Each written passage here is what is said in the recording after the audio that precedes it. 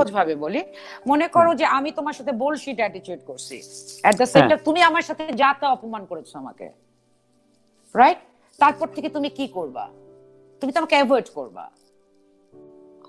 হ্যাঁ কিন্তু অবশ্যই। তুমি যদি আমাকে বলো তোমাকে ইগনোর করে কেন? আমি যেমন আমি যেমন এবার শারিয়া শাকিল আমার বন্ধু she is not only agency person আমার বন্ধু ও আমাকে বলল তমালিকা তুমি এবার এসছো আমি এবার তোমাকে দিয়ে বেশ কয়েকটা কাজ করাবো। ওই পর্যন্ত। ধরো ধরো না যার নামটা তুললে শারিয়া শাকিল একজন অ্যাক্টরকে বুস্ট আপ করার জন্য এনাফ জাস্ট ওয়ান পারসন সে এনাফ বোধহয় তোমরা বলছো এনাফ কিন্তু আমি শুনেছি ওনার কথাও শোনে না এখন এজেন্সি থাকে না, আমি কি জানি, আমি জানি না। আমার তো মনে হয় যে বসেই থাকে।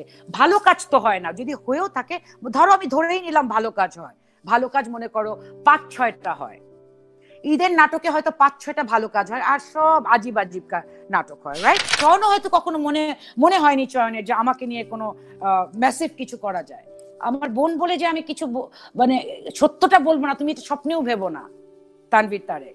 বা অরুণ দা কখনো আমাকে নিয়ে কোনো দিন কিচ্ছু কোনো দিন কোনো সিলেবাসে কোনো দিন কিচ্ছু করেনি।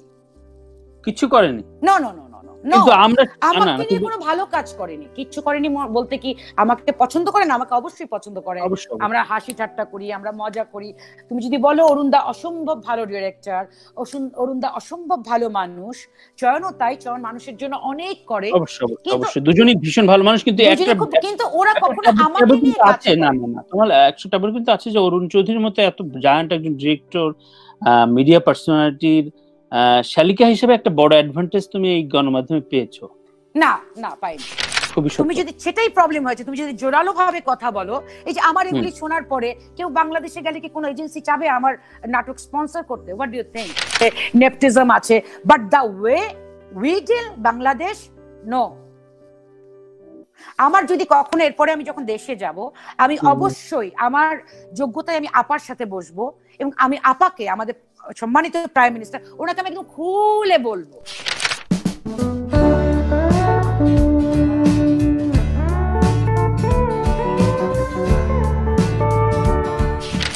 চ্যানেলের এই ভিডিওটি আমাদের নিজস্ব নির্মাণ মৌলিকভাবে প্রকৃত তথ্য নির্ধারিত আমাদের নিজের অবস্থান। বানানোর ভিত্তিহীন খবর দিয়ে বিভ্রান্ত করা আমাদের উদ্দেশ্য নয়। এ কারণে সরাসরি মতামত উপস্থাপনা তাই এই মূল ভিডিওটি কোনো কিছু কপি বা অন্য পোস্ট যথাযথ ব্যবস্থা নিতে আমরা বাধ্য থাকব। চয়নিকার কথা বললেন না। চয়ন চয়নিকা দিয়ে তো প্রেমের নাটক বানায়। চয়ন চয়ন অনেক ভালো ডিরেক্টর আমি ওকে চারশো নাটক ও ডিরেকশন দিয়েছে। ও আমার বোন ও ও আমার আমার প্রোডাকশনেই ও কাজ করেছে। She is she is very beautiful director but আমি তো ওই টাইপের অ্যাক্টরই না। আমি শুধু মানে প্রেমের নাটক করব। রাইট তো চয়ন আমাকে কি সুযোগ দিবে? কোনো উপায় তো নেই।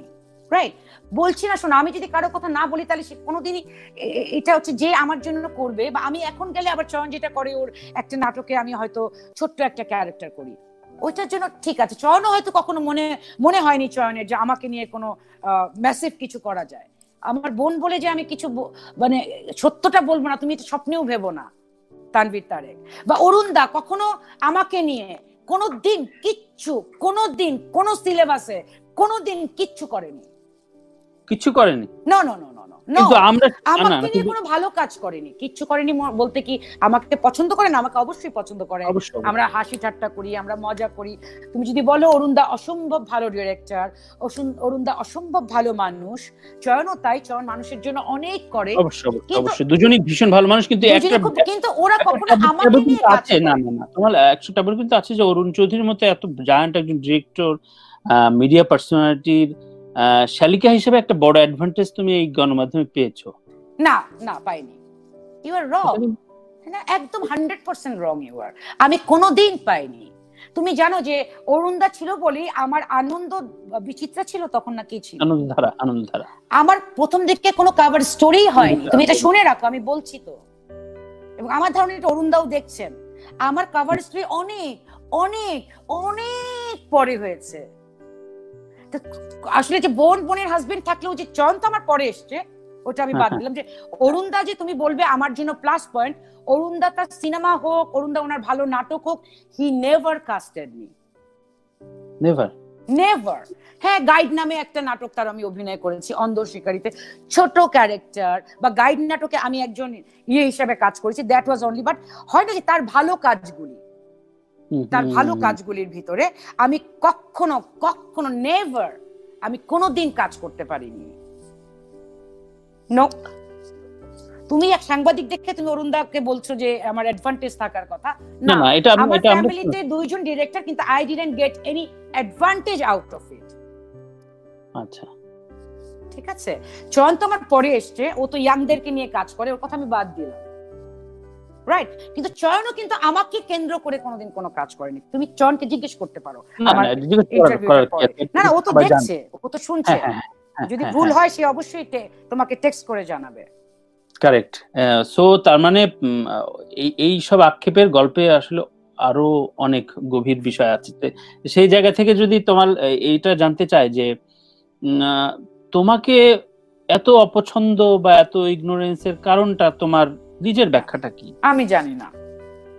তুমি জানো না? না। না I don't have any idea মানে হয় কি তানভীর মানে আমি যদি এখানে প্রবলেম হয় কি তোমার তুমি মনে করো যে you have done one wrong thing with me and তুমি এটা জানো যে আমি এটা দেখ- জানি তখন তো তুমি আমার সাথে কমফোর্ট ফিল করবে না। হুম। বোঝাতে পেরেছি? না। অনেকটা মাথার উপর দিয়ে গেল আচ্ছা আমি তোমাকে। সহজ ভাবে বলি। মনে করো যে আমি তোমার সাথে বোলশিট অ্যাটিটিউড করছি। এট দ্য হ্যাঁ। তুমি আমার সাথে যা তা অপমান করেছ আমাকে। রাইট তারপর থেকে তুমি কি করবা? তুমি তো আমাকে অ্যাভয়েড করবা।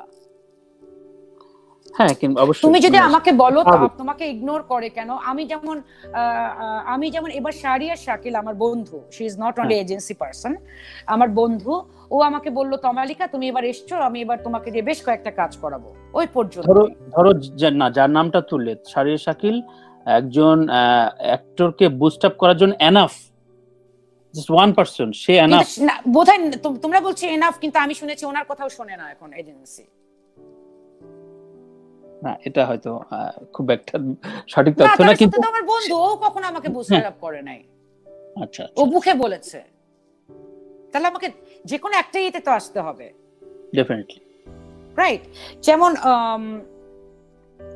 মানে একটু এবং যে সমস্ত অভিনেতা অভিনেত্রীরা একটু ভালো কাজের আশা করবে সুস্থ কাজ হ্যাঁ, সুস্থ হ্যাঁ। মস্তিষ্কের কাজ তারা তো বসে থাকে।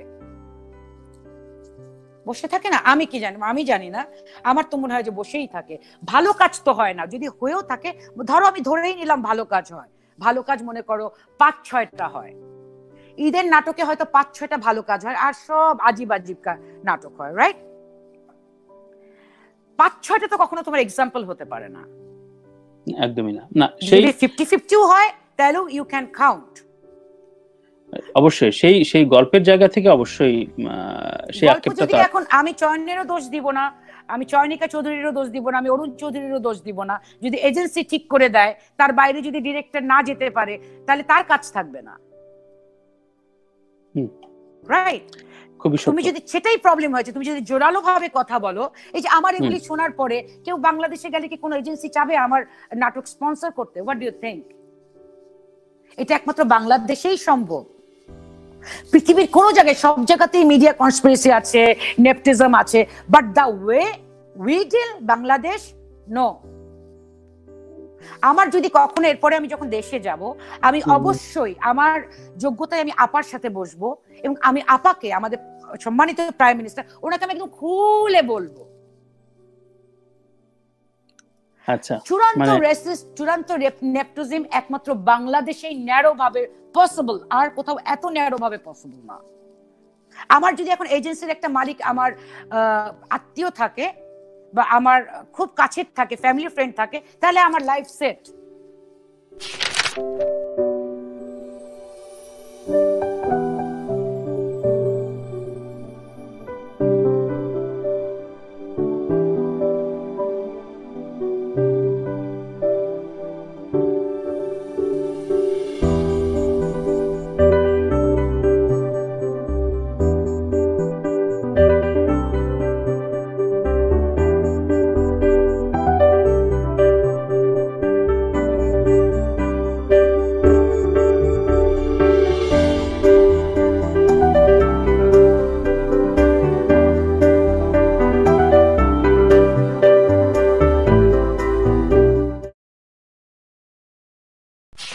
একজন প্রমিনেন্ট অ্যাক্টর বা অ্যাক্ট্রেস যখন বিদেশে এসে স্ট্যাবলিশ হতে যাবে এটা কি খুব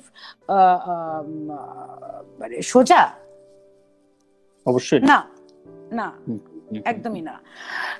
সো এটা একদম ভুল কথা। বিদেশে আসলে বাটার এই যে আমাকে পেপার বানাতে হবে এটার জন্য আমাকে খরচ করতে হবে।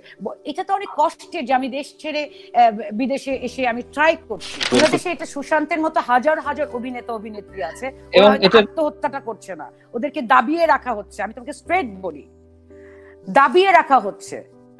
এরকম হাজার হাজার সুশান্ত আমাদের বাংলাদেশের ঘরে ঘরে আছে অভিনেতা অভিনেত্রী। আমি একশো জন অভিনেতা অভিনেত্রীকে চিনি। যারা ভালো তারা কাজ পাচ্ছে রাইট ভালো অভিনেত্রী হচ্ছে আমার ইনস্টাগ্রামে কত ফলোয়ার আমার ফেসবুকে কত হ্যাঁ, হ্যাঁ। ফলোয়ার এবং পারিশ্রমিকও এটার উপরে মানে নির্ণয় করা হয় নির্ণয় করা হয়। এর থেকে লজ্জার কি আছে তুমি আমাকে বলো?